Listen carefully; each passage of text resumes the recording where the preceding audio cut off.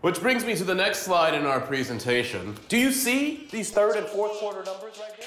They are pathetic, people. Uh, excuse me, Chet. Hey, Chet, what's going on? Chet? Sorry.